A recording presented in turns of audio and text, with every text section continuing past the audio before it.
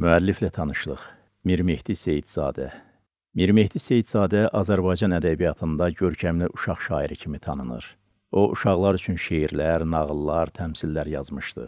Əsərlərinin əsas mövzusunu vətənə məhəbbət, dostluq, sədaqət kimi müsbət keyfiyyətlər təşkil edir. Şeirlərində insanın vətənpərvərlik duyğularını, saf məhəbbətini tərənnüm etmişdi. Şair uşaqları təbiət və canlı aləmlə yaxından tanış etmək məqsədi ilə xalq nağıllarına tez-tez müraciət etmişdi. Onun nağılları uşaqlar tərəfindən həmişə rəğbətlə qarşılanmış, maraqla oxunmuşdu. Şair təmsillərində də uşaqlar üçün əhəmiyyətli məsələlərə toxunub, mövzuların əxlaqi və tərbiyəvi olmasına fikir verib.